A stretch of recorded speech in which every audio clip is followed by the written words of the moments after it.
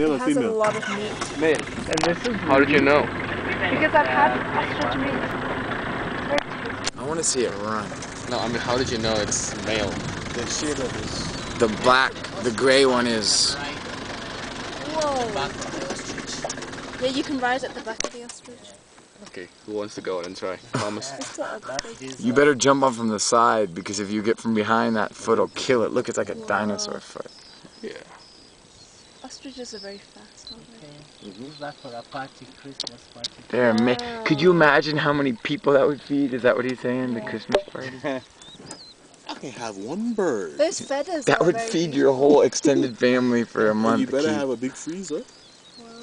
Pretty good Thanksgiving turkey. Come here, ostrich. Come hither. Come hither. And the eggs feed 18 people omelets.